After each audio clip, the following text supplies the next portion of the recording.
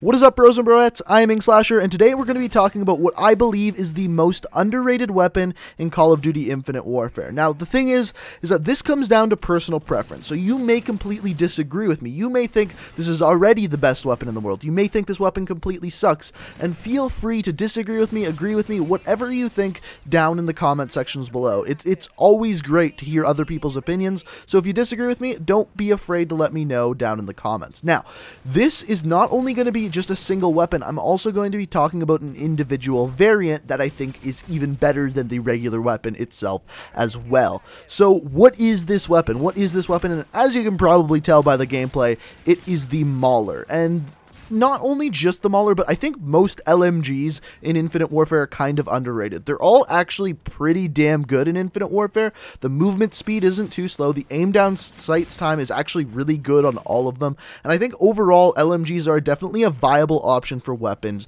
in Infinite Warfare. But I think one, the Mauler stands above the rest, and let me explain why. So first things first, LMGs in this game. So LMGs in this game have three really good stats that other LMGs and other Call of Duty games don't always have. The first of which is the aim down sights time. So the aim down sights time in Black Ops 3 for the LMGs was normally about 0.35 seconds all the way up to 0.55 seconds, whereas all of the LMGs in Call of Duty Infinite Warfare have an aim down sights time of 0.3 seconds seconds when compared to something like an assault rifle. Most assault rifles aim down sights in 0.25 seconds. So they are very much closer to assault rifles aim down sights time than they are an LMG in other games, which is a good thing. That makes LMGs a lot better. And not only that, but the magazine size. All of the LMGs in Infinite Warfare have a very large magazine size. The Mauler has an 80 round, the RAW has a 70 round, and the Titan has a 100 round magazine. So all very, very big magazines, which means you don't have to reload as often. So then why the Mauler? So for most of the LMGs in this game, once again, they have pretty good iron sights,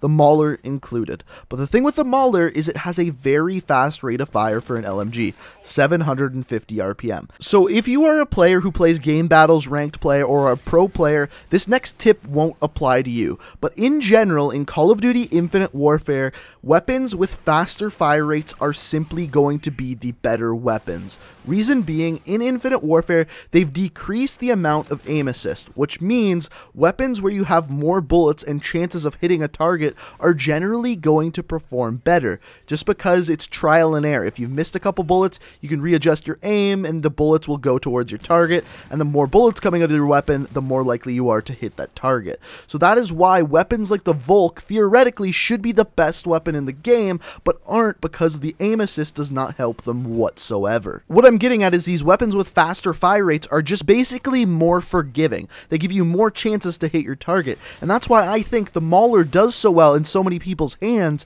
is because you get a fast fire rate with a pretty good LMG damage profile. And as we discussed earlier, all of the LMGs in this game actually have pretty good stats other than just damage and fire rate as well. Now, the only problem with the Mauler is the range is really bad, and this is where the most underrated weapon in the game comes into place, and it is the variant of the Mauler, the Mammoth. Now, this is an epic variant, so it is a little bit more difficult to get, but this weapon is insanely good. So good, and I think it's so underrated. I think not only is it good, but actually one of the best variants in the game. So the two perks that the Mammoth has is Heavy Hitter, it doubles your damage and gives you a slower fire rate, and Sharpshooter increases your damage range. Now the thing that we said earlier is that the Mauler actually has the highest rate of fire in the entire LMG class, which means if you get a variant that increases damage and lowers the fire rate, it should theoretically just make the weapon better because it will lower that fire rate to a level where the rest of the LMGs are at. Now, it lowers it a little bit more than that, but you'll see why this is a good thing in a second. So as far as the stats go on this weapon, the two negative things that happen to the Mammoth are first of all, your rate of fire goes from a 750 RPM to a 326 RPM, and your magazine size goes in half. It goes from an 80 round magazine to a 40 round magazine. Sounds pretty bad, right?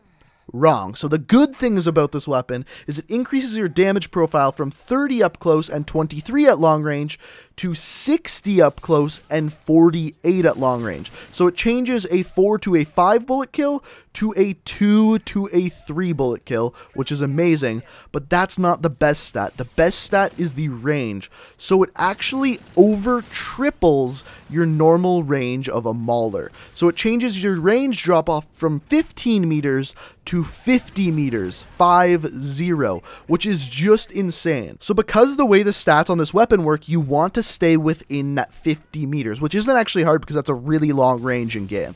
But in that 50 meters, your time to kill is going to be 0.18 seconds, which is actually one of the best time to kills in the game. Now, the downside to this is you have to now be accurate with the weapon. Remember how I said before with the Mauler, it was very forgiving. You could miss bullets and still manage to kill the people pretty damn easily because of that higher fire rate. Now, with the Mammoth, you have to be super accurate, and when you are, you have one of the best time to kills in the game.